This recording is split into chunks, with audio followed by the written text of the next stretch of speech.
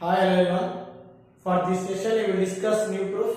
See here, the number of circular permutations of n dissimilar things taken all at a time is n minus 1 factorial. Okay. See here, proof.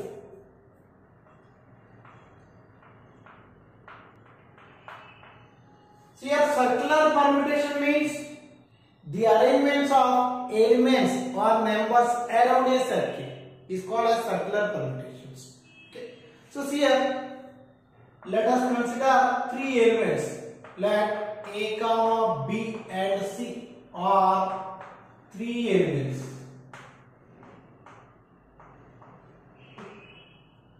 So you know that linear permutation is the arrangements of numbers or elements in a line is called linear permutation.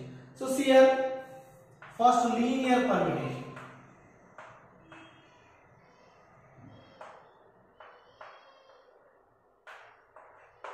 So what are the arrangements in linear permutations? See here, A B C arrangement, A C B arrangement, next B A C arrangement, next B C A arrangement, next C A B arrangement, C B arrangement.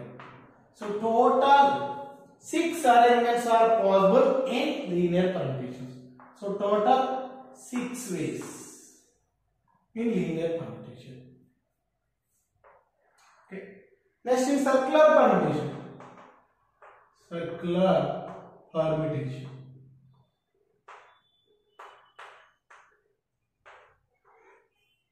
So here total six ways are possible. So here we have to consider six circles.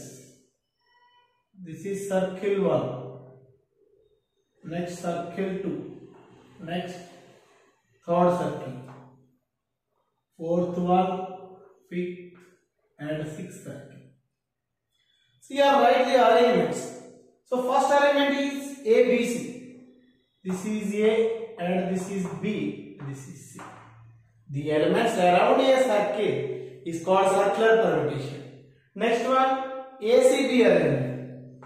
So this is A and this is C and this is B. So this is first one, second one. Next third arrangement, BAC.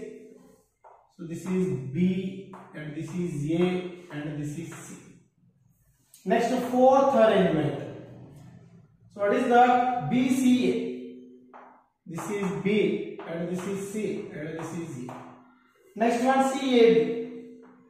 This is C and this is A and this is B. This is fifth element. So last element is what? CBA. This is C and this is B. This is E. Okay. So you know that the elements or numbers around a circle is called what circular permutation. And there is no starting point in circular permutation. So once you see the first arrangement, A, B, C. So you can start from either A or B or C. You can start from any way. Okay. So there is no starting place in circular permutations. So once you observe the first arrangement, if you start with A, then the arrangement is what? A, B, C. Or you can start with B also. Then the arrangement is B, C, A.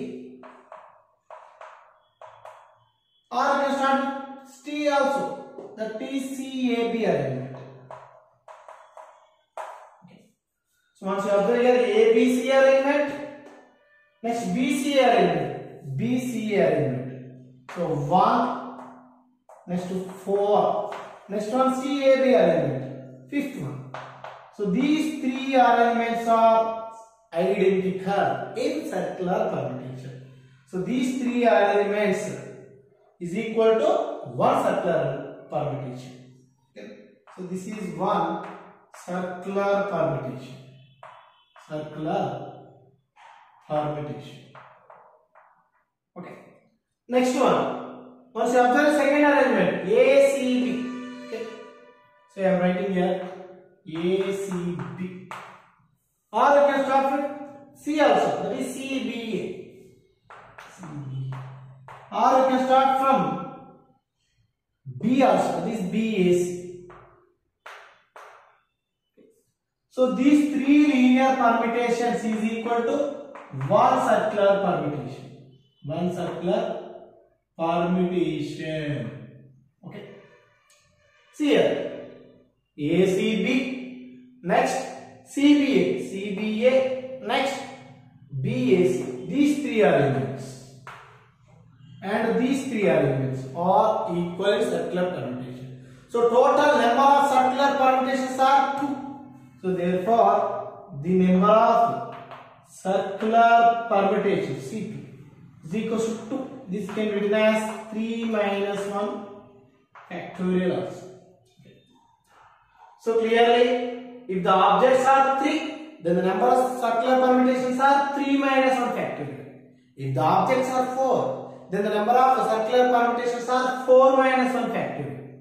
If the objects are n, means if n things are there, then number of circular permutations are n minus 1 factorial.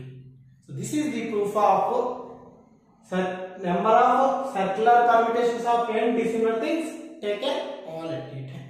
Okay. For next session, we will discuss more proofs.